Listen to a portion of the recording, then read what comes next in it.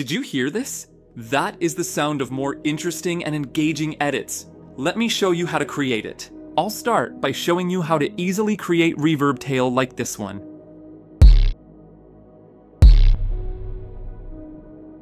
Let's first listen to how the audio track sounds without any effects.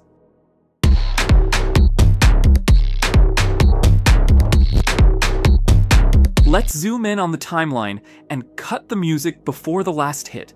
Then, duplicate the trimmed fragment and place it inside a compound clip.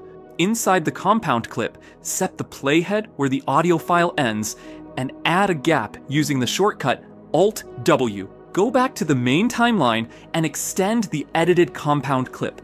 In the Effects menu, under the Audio tab, search for the effect Cathedral 2 and drag it onto our compound clip. Then search for Channel EQ and do the same.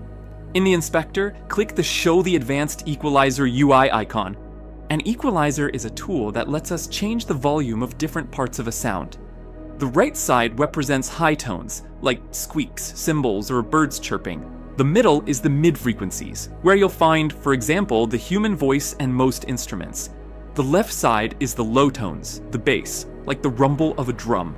By adjusting the equalizer, we can move a frequency slider up or down to make that part of the sound louder or quieter. Use the low pass filter to reduce the high frequencies so that our reverb isn't too bright. As you can hear, thanks to the simple trick, the ending of the music sounds much better. Let's move on to the next part. You will see how sound editing can influence the dynamics of the edit. After a dynamic beginning, I want to slow down the middle section. However, as you can see, long, slowed down shots are not enough. Let's cut the music where we want our edit to feel calmer. Then, apply a fade in so that the volume of this section gradually increases from zero. It doesn't sound good yet. Let's add an equalizer animation so the sound gradually shifts from muffled to more audible. To achieve this, we'll again use the channel EQ effect and animate the high cut frequency parameter.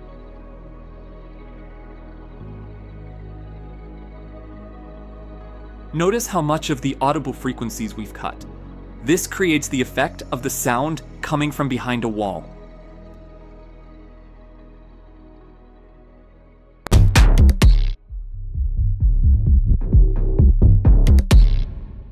I think it's much better, but that's not all. Let's now add some sound effects.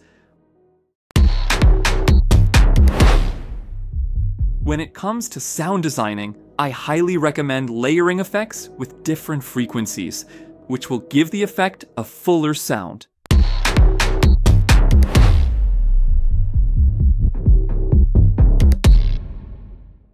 The drop itself is ready and turned out really good.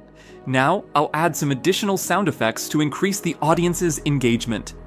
I'll start by adding the sound of sand.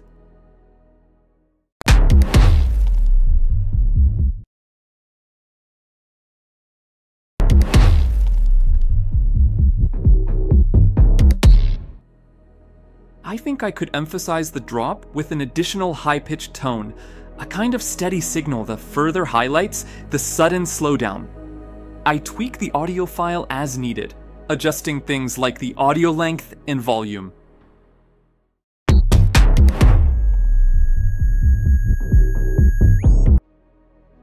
There's a slight pitch change at the end, so I'll cut that part out and use retiming to match the audio effect with the slow motion section of the edit.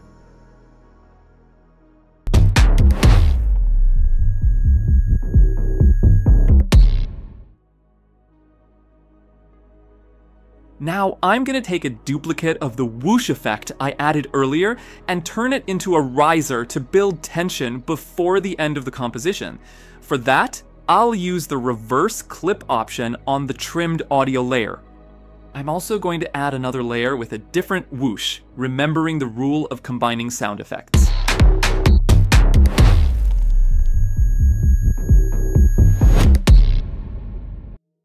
It's very important to note that sound effects don't have to match what's happening on the screen. I focus more on emphasizing the mood and atmosphere of the edit. For example, the sound of a ticking clock may seem completely unrelated to an edit showing tennis. However, it underlines a moment in the edit, the mood, the slowdown that ultimately leads to an acceleration of the action. The ticking of the clock subconsciously creates a sense of anticipation for a change in tempo.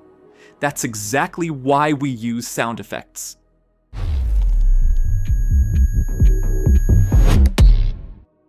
Now I want to show you how you can use a simple white solid to create a stylish transition between shots. And if you add some audio effects on top, you will get a really engaging effect that grabs your audience's attention. Once you drop the solid generator onto the timeline, trim it to around 4 frames right where the shot changes. Then, in the inspector, change its color to white and set the blending mode to difference. After that, go to M extension, find the M adjustment layer, and place it above the solid, making sure it's trimmed to the exact same length. Now I will desaturate everything below the M adjustment layer with the built-in color board. Then, from the Effects tab, I'll drag in Add Noise and tweak the settings until it looks the way I prefer. Finally, we will add a glitchy sound effect over the transition to make it feel more dynamic. And that brings us to the end. These were some quick ways to use the built-in tools in Final Cut Pro to make edits more interesting. If you'd like to see more tutorials like this, let me know in the comments.